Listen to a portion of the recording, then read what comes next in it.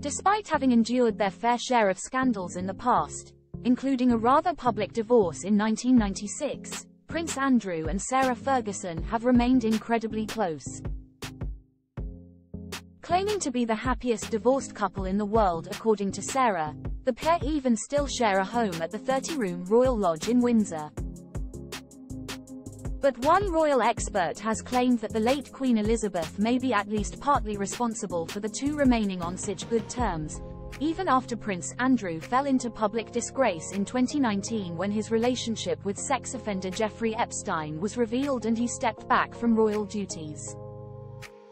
Ingrid Seward, editor-in-chief of Majesty magazine, explained to The Sun that this strong relationship is unlikely to waver anytime soon and that Fergie is expected to stand by her ex-husband for the foreseeable future as she has done for so many years. Both parties have continued to support each other, including throughout the various scandals they have each been entangled in, but according to Seward, that definitely doesn't mean it has been easy. But the Queen, Seward claims, could have played a huge part in this suggesting that her advice may be responsible for keeping him close. She said, Sarah must have talked to the Queen and she must have said please look after Andrew for me. And that's what she is going to do. I don't think she will leave him and I don't think they'll get married again.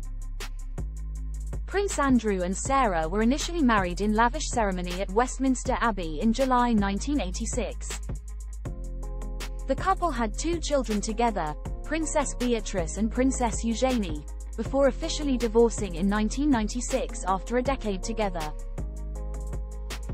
Despite the fact that when they were first together, Fergie reportedly found Prince Andrew's arrogant style challenging, the expert noted that she owes it to the prince to not abandon him.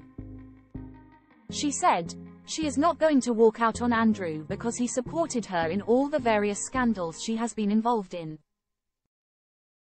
In 1992, the pair's marriage broke down publicly when multiple images of Fergie with other men on two separate occasions circulated in the press.